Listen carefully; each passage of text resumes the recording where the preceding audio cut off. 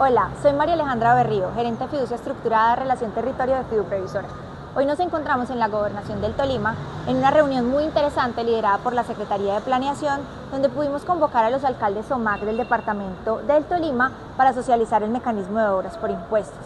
Lo más importante es que podamos generar todo ese relacionamiento en pro del desarrollo de esta región para posteriormente llevar el mensaje a los contribuyentes del departamento.